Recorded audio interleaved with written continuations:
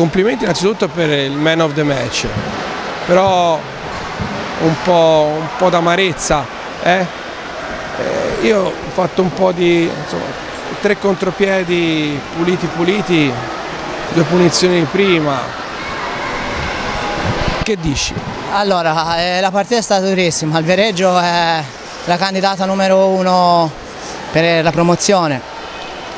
Noi abbiamo fatto secondo me una bella partita, ma abbiamo fatto de degli errori sciocchi, evitabili.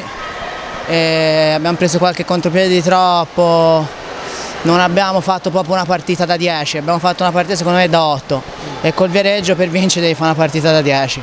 È mancato qualche episodio fondamentale che non è entrata la palla oppure abbiamo sbagliato magari una marcatura che loro hanno preso fiducia e hanno raggiunto il pareggio a poco dalla fine.